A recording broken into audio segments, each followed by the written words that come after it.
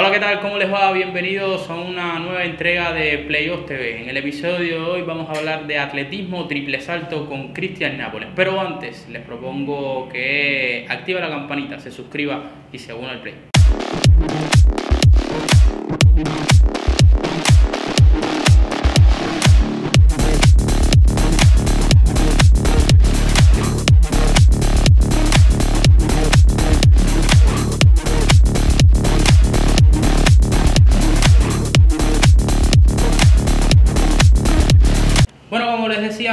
Estar conversando sobre atletismo, en específico triple salto, con Cristian Nápoles. ¿Qué tal, Cristian? ¿Cómo te va?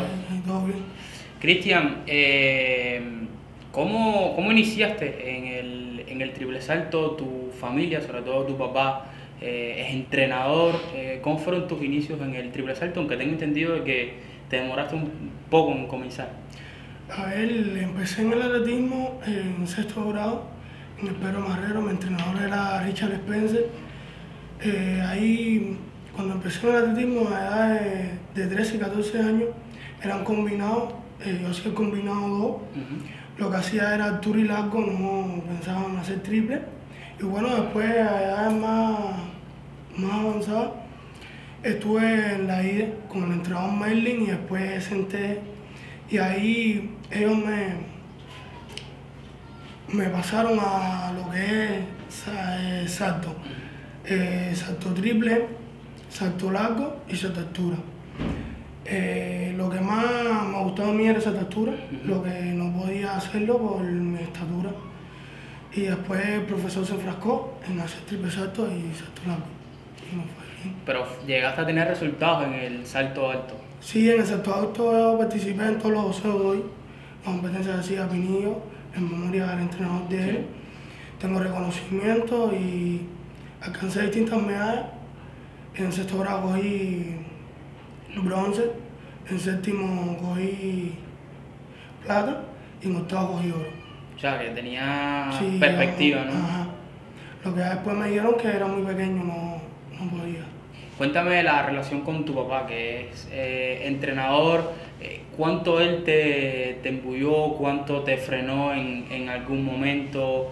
¿Cómo fue esa relación con, con él en, esas edades? Bueno, en esa edad mi papá siempre estaba de, de misión, ¿sabes? Sí. Él me estaba apoyando, me decía, yo, porque hay personas que, ¿sabes? Que como los padres trabajan en el equipo nacional, a veces se acomodan, ah, no, mi papá me va a subir. No, yo siempre, desde chiquito, le decía a mi papá de que si yo subía al equipo nacional, subía porque me lo iba a ganar yo, ¿entiendes? Y ahí él me estuvo apoyando hasta que llegué al equipo nacional. No sabía saltar triple. No sabía saltar No triple. sabía saltar triple, lo único que sabía era altura y salto largo. Y él me dijo, tranquilo, que vamos a trabajar en base a eso. Y hoy por hoy es el autor de quien es hoy Cristian Nápoles. ¿Cómo es ese desarrollo precisamente en el triple? ¿Cómo fue ese inicio a nivel técnico? ¿Te costó mucho? Eh, ¿Cómo fueron esos, ese proceso? Bueno, como todos los eventos vemos, es muy difícil, cada evento tiene su cosa y su punto, ¿sabes? Me costó bastante trabajo, pues era demasiado entretenido. ¿Llegaste tarde? No, no es que tarde, sino que me costaba trabajo porque como hacía esa altura y salto largo, me chocaba, ¿entiendes? Como en esa altura uno se frena, me chocaba en el triple salto. Y bueno, y le puse empeño y mucho esfuerzo, el empeño y el esfuerzo mío desde mi entrenador que, era mi, que es mi papá, y logramos obtener estos resultados que tenemos hasta el día de hoy. ¿Cuándo te diste cuenta de que tenías para llegar a hacer eh, carrera allá dentro del triple salto como un elemento importante de, de- dentro de Cuba y también a nivel Bueno, mundial? cuéntame, me di, mi papá me dijo, vamos, O sea, tienes para... en, en el momento en que te das cuenta de que estás progresando. Ajá, mi papá me dijo, tienes para dar más, vamos a dar más, esfuérzate. Y ya, lo que le puse fue empeño y esfuerzo. ¿Qué competencia te, te diste? Yo he, he mejorado mucho. Bueno, al principio empecé, tuvimos las confrontaciones ahí y cada vez que iba acertando iba mejorando, poco a poco. Eh, con 15 años tuve mi primera medalla de oro en el Mundial Cadete 2015 en Cali. Y ahí fue cuando yo dije, de verdad, coño, si puedo, vamos a echarle ganas. Sea, en el mundial que ganas tú oro, eh, Carbonell gana medalla de bronce. O sea, ya ahí empiezas a darte cuenta de que, de que sí, de que sí se puede. De que sí se podía. Y ya en el 2000, en sea, al año siguiente, tienes la oportunidad de ir al Campeonato Mundial Juvenil, Juvenil, que quedas en medalla de plata. de plata. ¿Cómo, ¿Cómo te sentiste en ese mundial? La expectativa era oro, aunque ibas con, con rivalidad cubana, porque también estaba Mm. Lázaro Martínez, que fue el que ganó la medalla de oro. A ver, ese año fue un año complicado. Ese año fue un año que también eran los, los Juegos Olímpicos. Sí, Ese año yo terminé con 16.92 siendo juvenil. Eh, estaba en la competencia con Lázaro, un buen rival. Mi papá era el entrenador de nosotros dos en ese momento, atendiendo a Lázaro. Y estábamos ahí y una cosa muy bonita que nunca se me va a olvidar fue que una frase que dijo mi papá, dijo que aquí somos Cuba. Gana o pierda, somos Cuba, hay que dar lo mejor. Tú eres mi chamaco y ahí yo lo estoy atendiendo. Para adelante, el que gane es mejor y ya. Eso fue lo que pasó. En la competencia me sentí bastante bien, di, di lo mejor de mí, pero bueno, como, como todo, eh, batalla hasta el final. sí. Lo que Lázaro saltó y Lázaro salta más 17 en ese 17 06. 06. Y yo salté 16 60, 65 64 creo. Sí. Eh, vas al mundial ya de mayores en tu primera presentación y quedas cuarto. O sea, estuviste francamente bien, incluso ese año ya sobrepasas la barrera de los 17 metros. ¿Cómo fue eh, ese proceso para romper la barrera y cuánta satisfacción hay detrás de, esa, de romper esa barrera? Ese año fue un año bastante bueno. Ese año terminé la Copa Cuba con 17-27. Después vino el Barriento y gané con 17-21. Eh, estuvimos en la gira, tuve dos competencias, que salté de 16-90 y pico y 16-80 y pico. Después fuimos el Mundial. Eh, fallece, que en paz descanse, mi abuela, la mamá de mi papá. Mi papá regresa a Cuba y ahí me atiende el entrenador Joel Quesada. Sí. Ahí yo tenía 17 años, en ese mundial de 2017 en Londres. Para serte sincero, me cogió la inexperiencia y la novatada. Yo decía, coño, estoy compitiendo aquí con Christian Taylor, que yo de chiquitico lo veo en el televisor con Will Clay, con variedades, con Nelson Eora. Sí, con los mejores. Bueno, ¿no? en esa competencia yo doy dos fouls. En los primeros saltos doy dos fouls. Y no me quedaba de otra. Tenía que marcar. Yo echo 10 pies atrás y me mando a correr. Y marco 17-16. Pero que nunca, nunca, eh, sabes que hay una, una pantallita Sí. que van poniendo. Nunca me fijé en la pantallita. No sabía si estabas entre los ocho o... Nunca me fijé, yo vi que pasé y ya. Volvemos a dar tres saltos más, doy dos fouls más y en el último salto 17-16. Cuando me asomo así a donde está la delegación cubana, me dicen, mira la pancarta. Cuando veo la pancarta, Nelson ahora tenía, había cogido bronce con 17-19. Yo Ya. cogí cuarto con 17-16, 3 centímetros. Pero es como le digo, inexperiencia. Los, los fouls que cometiste fueron... Fueron bastante buenos, pero igual era una competencia que yo me sentía, como era un, un niño, me sentía. Me acuerdo que Juan Torena de las gramas me gritó y me dijo: Atanay, eh, tranquilo, coge calma, antes de darle este salto. Y me dijo: Tienes mucho que ganar y poco que perder, diviértete. Y ahí fue que tuve el esfuerzo y hice esa marca. Y ya después en el 2019 quedas quinto, o sea, vuelves a tener un, un buen mundial, eh, mejorando marcas, incluso en, en Doha, eh, como, incluso con esa marca hubiera sido medallista en, en el, en el anterior, en el anterior. ¿no? las cosas que tiene el, el deporte, ¿no? Ese año fue una progresión bastante buena, ese año tuve una lesión en el tobillo, una fisura en el tobillo tuve. No fui a la gira de, de verano, no pude participar, fui directo al mundial. En en el mundial me sentía preparado, bastante bien. Lo que pasa es que hubieron varias cosas, hubieron sanciones, Sí. varios obstáculos, ¿sabes? Y ya estaba ahí también, ese año fue que, como yo pasé a, eh, a finales, pasé a entrenar con Ricardo Ponce, el entrenador de Jordan Díaz, a finales. Y ya estábamos en el Mundial Pero ya este mundial fue como que algo de más competencia, porque también estaba Pedro Pablo Pichardo, Sí. estaba Songo, que ya, Christian Taylor y, y Clay. Omar Crow, que fue el que ganó el Panamericano. Ese mundial yo paso de décimo a la semifinal. Clasifico de décimo con 16.88. Elimino a Omar al campeón panamericano. Y cuando llego ahí, doy el primer salto, que doy 17.36, y digo, wow, Estoy bien. tres meses sin competir, digo, oh, esto promete. Pero que ya la competencia va dando así como un circuito y la gente empieza a saltar. Yo paso a cuarto, pero que Christian Taylor tenía ofado. Sí. Salta y, y pasa a cuarto y me pasa a quinto. Yo salto 17.38, que fue mi mejor marca. Y después cuando voy a darle el cuarto salto, fue, es cuando me hago una ruptura en el bíceps femoral. Y ya eh, ahí tuve una experiencia muy bonita porque Christian Taylor, eh, de habla inglesa, eh, él estaba rezando mí porque me sacaron un sillón de ruedas. Y él rezó mí y yo, oh my god, que esa ¿verdad? Y ya, y fue una experiencia muy bonita en ese mundial. Sí, eh, Christian Taylor, bueno, el saltador más dominante de los, últimos, de los últimos años, además un atleta, tengo entendido de que tiene marcas en varias disciplinas realmente eh, muy, muy interesantes. Eh, Cristian, eh, llegan los Juegos Olímpicos en este 2021, pero antes supongo que la preparación haya estado eh, para el 2020 y se para de buenas a primeras por el tema de la pandemia. ¿Cuánto te afectó a ti?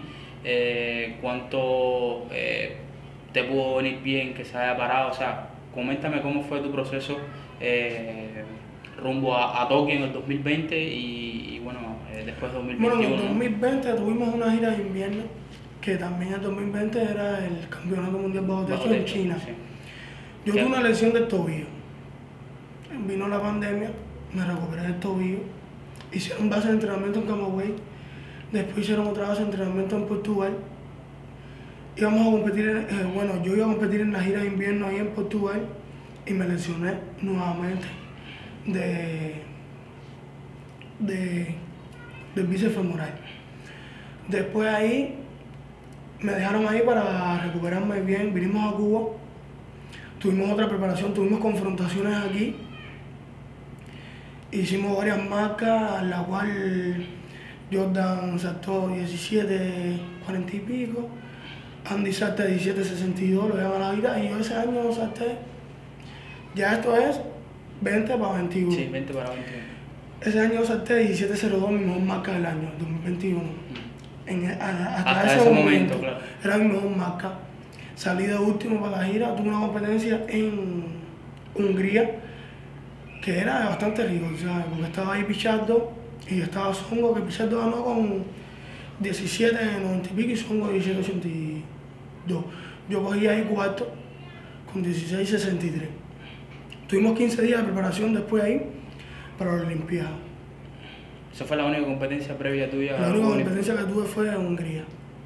Cuéntame de los Juegos Olímpicos, tu experiencia, eran tu- tus primeros Juegos, eh, obviamente no, quizás no era la situación idónea, digo, a nivel social, ¿no? Como para vivir los Juegos, como, como tú viviste todas las restricciones, todos los protocolos, ¿cuánto te afectó eso? ¿Cuánto te impresionó, eh, digamos, hasta cierto punto esa burbuja que hubo dentro de la Vía Olímpica?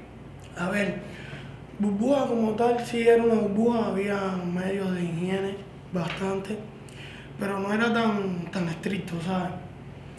Habían sus salas de juego para distraerse. ¿Podías cosas, compartir podías- con otros atletas? Sí, podías conversar, relacionarte. Los Juegos Olímpicos fue una experiencia demasiado bonita.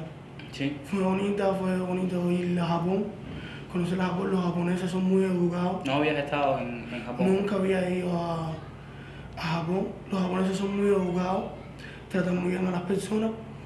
Respecto a la competencia, Sí, te, te iba a preguntar eso porque me, me comentas, es muy bonita, eh, o sea, muy bonita la experiencia, pero en la competencia eh, no salieron las cosas, ¿no? ajá, respecto a la competencia, yo me sentía de los mejores. Bueno, salta 1708, 08 en la clasifica fácil. Ajá, yo me sentía de lo mejor.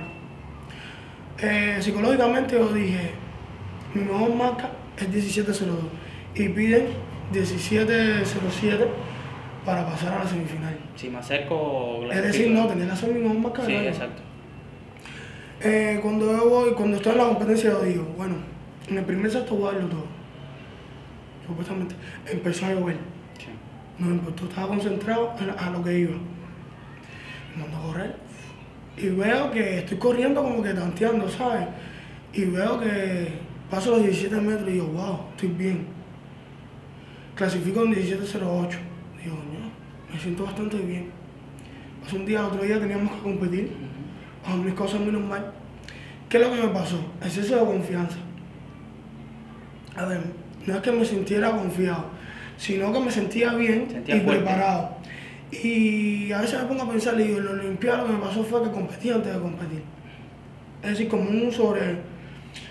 Como que me sentía bien y la adrenalina se pasó del límite. Entonces cuando llegué a la competencia, fue lo que pasó. Yo, antes de competir, se hacen unas carreras. Todo me dio perfecto, todo me da perfecto. Cuando hago la primera carrera que veo que, que no me da la tabla, digo, no, ¿qué pasa aquí? Como que la mente ya cambió. Porque siempre el deportista dice, "Eh, de una, hazlo de una y después ya veremos.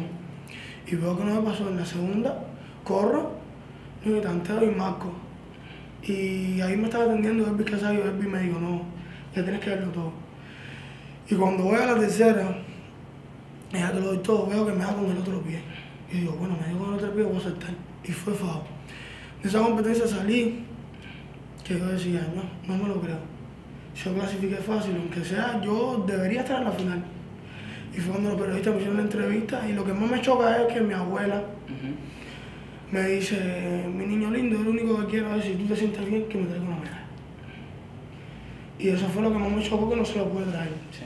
A ver, la competencia estaba fuerte, no tenía la mejor marca para alcanzar una medalla, pero como deportista y como competitivo que soy, yo digo, no, yo voy a alcanzar esa medalla.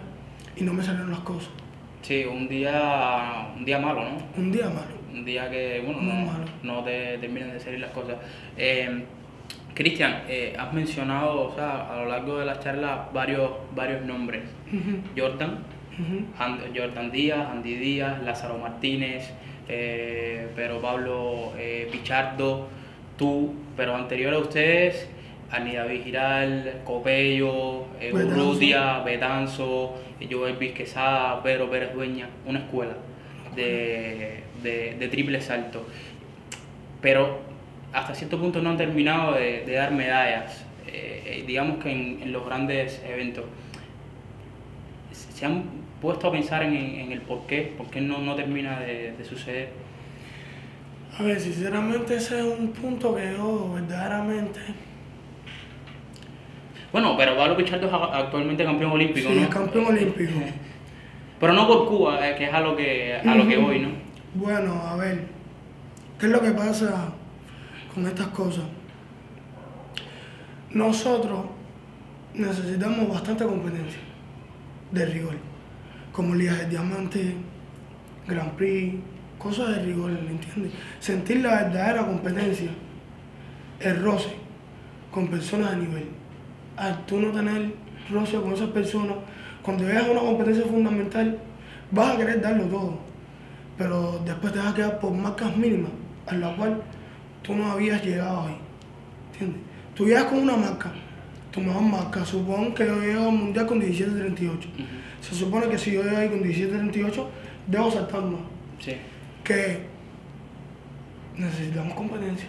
Eso, eso también quería preguntarte, porque muchas veces eh, tienen marcas en el año y cuando llegan, y con- exactamente, y cuando llegan a la competencia, incluso a veces ni se acercan, ¿no? O sea, eso, ¿por qué, por qué sucede eso? A ver, prácticamente, no puedo hablar por los demás, Sí. voy a hablar por mí. Por- Prácticamente, a todas las competencias que he ido, he salido aquí de Cuba con una marca mínima. Ujú. ejemplo de mi marca. Cuando yo fui a Barranquilla en 2018, que cogí medalla de oro. Yo en esa competencia iba con 17, 17. Y ahí yo solté 17.34. Es decir, que había mejorado mi marca. Tu marca, sí. Eh, cuando fui a Doha igual, ¿me entiendes? Sí. Eh, cosas que me da ya eso está en la competencia. Sí, no claro. sé cómo explicártelo, ¿me No, entiendes? también depende un poco de los rivales, ¿no? Claro, Obviamente no se claro. puede olvidar Y es como rivales. le digo, es muy importante, es muy importante la, la competencia de nivel. Ahora, quiero sobre otro tema que hasta cierto punto se comenta mucho ¿no? en, en la, en la calle y es el tema de las marcas en el Pedro Marrero. O sea, ¿cuánto podemos guiarnos por esas marcas y, y cuánto no? Teniendo en cuenta de que, y no hablo solo del triple, ¿no? hablo en, en general de, de los lanzamientos, de- del, del salto de longitud, que a veces se van determinadas marcas y después no se replican en, en otro tipo de competencia. ¿Cuánto podemos guiarnos de por ellas y cuánto no? ¿Cuánto realmente los beneficia a ustedes el aire? O incluso los puede llegar a perjudicar también, porque si es en contra, también los perjudica.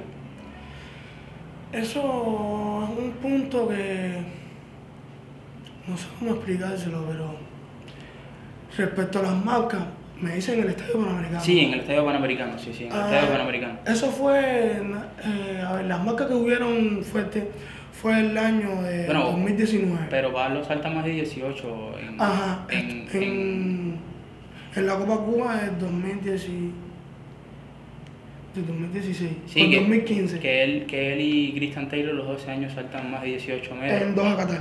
Sí. Ujú. No sé cómo explicarle ese punto, ¿sabes? O sea, eh, lo, lo digo, ¿no? Porque en muchas ocasiones se ven lanzamientos, no, o sea, no hablo solo del salto, sino de lanzamientos, que hay determinadas marcas y después cuando quizás no hay, van a otras competencias, no... También es como le digo, cada equipo tiene sus cosas y sus planificaciones, ¿entiendes? Y cada atleta es como es. Sí. Ahora... Todos los atletas quisieran dar lo mejor de ellos. Sí, claro, en la competencia, claro. Ahora, eh, Cristian, dejaste el, el equipo nacional, o sea, te pediste la, la baja, ¿por qué? Yo vi la baja por motivos de voluntad mía. Voluntad mía. Voy a empezar a entrenar con mi papá, con mi papá nuevamente, mi entrenador. Y voy a seguir compitiendo por Cuba. Vas a seguir compitiendo por Cuba. Sí, voy a seguir compitiendo por Cuba. ¿Cómo, cómo lo cómo se puede saber? Ya eso te lo dejo de tarea, pero yo voy a seguir compitiendo por Cuba voy a dar lo mejor de mí por Cuba y a mi pueblo. y, no hay no hay forma de, de que regreses al equipo Cuba en algún momento. O sea, digo, a- a- dentro de... A la selección. Sí, a la selección. A ver, yo pertenezco a la federación, que es casi prácticamente lo mismo. Ya. Eh, Jordan, eh, Cristian, disculpa, eh, que tengo a, a Jordan, tengo a Bichardo eh, en la cabeza porque eh, no están con nosotros. Eh, ¿Tiene algo también que ver con, contigo un poco? No, conmigo no tiene nada No, que ver. digo, la, la, o sea, se, se, se puede comparar un poco también tu situación con... con- Bueno, no sé los problemas que tuvieron ellos. Yo simplemente no es que sea, no es que esté decepcionado ni nada, sino que hubieron varios puntos, a la cual no voy a decir varios puntos, Sí. que yo decidí, ¿Sientes que no, no están siendo bien tratados? puede ser algo así. Puede ser algo así. Por lo menos el punto mío de vista.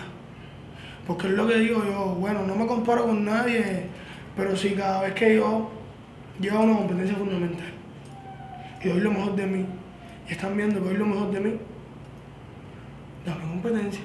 Claro. Entonces, si no me dan las competencias, ¿cómo me voy a sentir yo? Sí, claro. Y además en- entiendes que no, que no te permite llegar hasta tu techo, ¿no? Claro, Eh, Cristian, barrera 18 metros. bueno, el que se lo propone lo hace, nada es difícil. Yo digo, yo soy un atleta que yo siempre me impongo las cosas, nada es difícil, puede que salte 18 metros. Incluso el sueño de cualquier deportista es romper el récord mundial o olímpico. Llevado mucho tiempo el Jonathan Edwards. Y ese es mi ídolo, incluso ahora Sí. el tema, es mi ídolo porque tiene mi estatus, ¿entiendes? Y era así chiquito y... Eso te quería preguntar quiénes son tus ídolos en competencia, quién te ha impresionado. A ver, en competencia como, como tal que me ha impresionado, yo soy un atleta que me gusta la competencia. Me gusta competir con Christian Taylor porque cuando las personas piensan que ahí va él y se- también me gusta competir Muy con, competitivo, ¿eh? con Wickley también, que se sigue forzando, forzando, con Pedro Pablo Pichardo, con Songo. Mira, me quedé impresionado en la Olimpiada del chino que cogió. La plata, ¿no? Que coge plata. Que coge plata. Sí, porque bronce es Songo. Es Songo, es otro rival más que hay que tenerlo en Sí. cuenta, porque es plata olímpica. Que tenerlo en cuenta, me gusta mucho la competencia. Eh, Cristian, eh, háblame de, de Yulimar eh, Rojas. ¿Cómo? O sea, ¿qué, qué, qué está pasando ahí? Porque está destrozando todo. Bueno, Yulimar, yo, yo me, mira, es bueno que toque ese punto, yo tengo buenas relaciones con ella, me llevo con ella. Siempre estamos conversando y uno de los comentarios que yo le hago a ella es que si ella llega a saltar 16 metros, 16 metros, Sí. yo jugando le digo, no salto más triple. Porque no es posible que una mujer salte 16 metros, si hay hombres que... Que le apenas- cuesta, ¿no? Si en competencia han saltado 16, 80 y pico, como una mujer va a saltar 16 metros, ¿sabes? Como que impresiona. Y un comentario que voy a hacer, ella pasó mucho trabajo y se burlaban incluso de ella. Sí. Y ahí está el resultado. Con su gran entrenador, Iván Pedroso. fue que la fue modelando.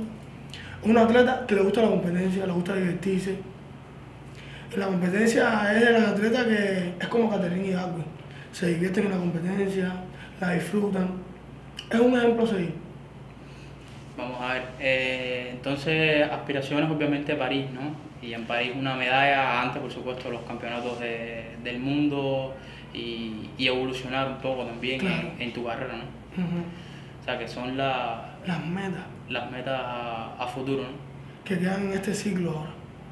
Así que bueno, vamos a ver qué, qué pasa. Cristian, yo te deseo la, la suerte del mundo y, y sobre todo que, que mejores, 18 metros, la medalla olímpica, que se la puedas dedicar a tu abuela. Mismo es. y, y bueno, eh, que también que con tu papá bueno, puedan alcanzar por lo que han trabajado durante tanto tiempo. Nada, si les gustó la entrevista, aquí también le dejamos el link de la que está en nuestra página web en texto para que usted pueda disfrutar y ampliar eh, su conocimiento alrededor de la figura de Cristian Napoli. Si le gustó, como siempre le digo, suscríbase, activa la campanita y una play.